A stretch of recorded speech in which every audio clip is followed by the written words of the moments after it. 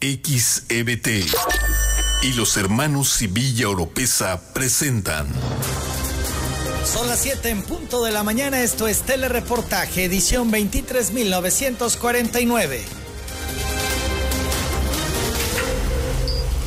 Envenenan a José Livio Pons, líder cañero de Cárdenas, lo encuentran en Zapotal Segunda. Ejecutan a dos personas ahora en la zona de Plátano y Cacao. Pescadores del Zapote hallan a hombre sin vida atado de manos y amordazado flotando en el Samaria. Encuentran sin vida a joven de Comalcalco desaparecida hace un mes. Captan en video asalto a estudiantes en Buenavista Centro. Muertos, detenidos y un liberado, el saldo de enfrentamiento en Jalapa. Solo 6 de cada 100 delitos que ocurren en Tabasco son investigados, reporta México Evalúa. Además, los tránsitos son los de menor confianza entre los tabasqueños, destaca el estudio. En Centla, trailero atropella a mujer busca huir, pero lo detienen pobladores. Advierten sobre pulseras falsas para la imposición de bandas. Continúan hoy las actividades de Preferia con el desfile de modas y la develación de retrato de la Flor de Oro 2023. La construcción de pasos peatonales en el Boulevard Bicentenario están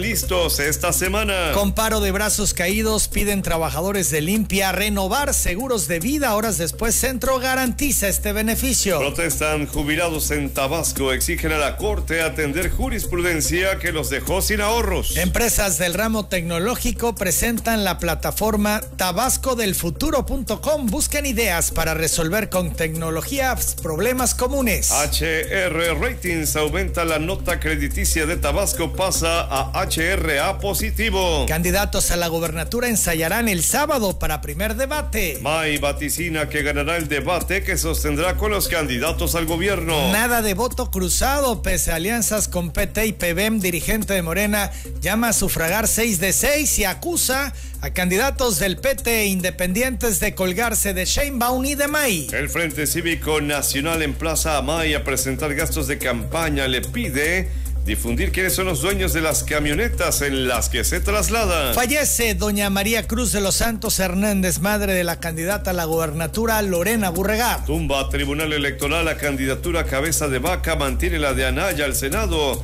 El de Tamaulipas acusa persecución política. Colosio Riojas dice que hay condiciones para que un aspirante presidencial sea asesinado debido a la ola de violencia que hay contra candidatos. Peña Nieto asegura que no pactó con López Obrador ni Morena.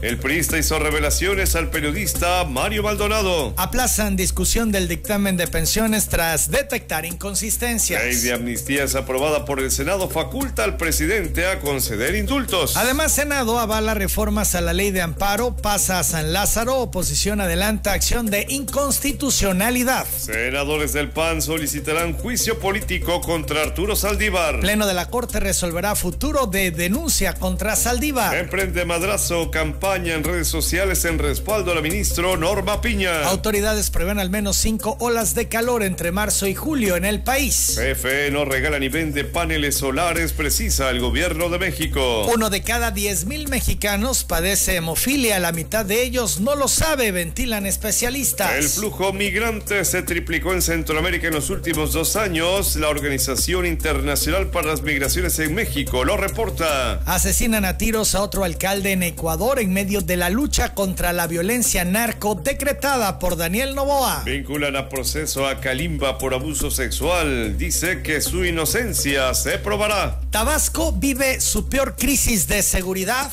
En la entrevista, el secretario de Seguridad, el general Hugo Víctor Hugo Chávez Martínez, las 7 de la mañana, 4 minutos en los deportes. Olmecas pierde 1 por 0 ante Leones y los Velerudos aseguran la serie en el centenario. En otros resultados, Diablos Rojos del México llena de leña a Quintana Roo, le gana 18 a 8. Chihuahua 6 por 4 Aguascalientes y logra su primer triunfo. Durango le gana 2 Laredos 6 por 4. Saltillo 9 a 4 Monclova. Querétaro derrota a Oaxaca 9 por 7. Campeche 9 a 4 Puebla. Veracruz 3 a 2 a León. Monterrey derrota a Jalisco 4 4 por 2 y Tijuana 5 a 2 a Laguna. En las grandes ligas, Boston derrota a los Guardianes 2 carreras a 0, los Yankees 6 por 4 a los Azulejos, los Bravos de Atlanta 5 a 4 a los Astros de Houston y Nacionales 2 a 0 a los Dodgers. Rafael Márquez asumirá las riendas del Barcelona tras salida de Xavi Hernández, según reportes de España. Mientras tanto, listas las semifinales de la Champions, Bayern Múnich contra el Real Madrid, Borussia Dortmund enfrentando al Paris Saint-Germain.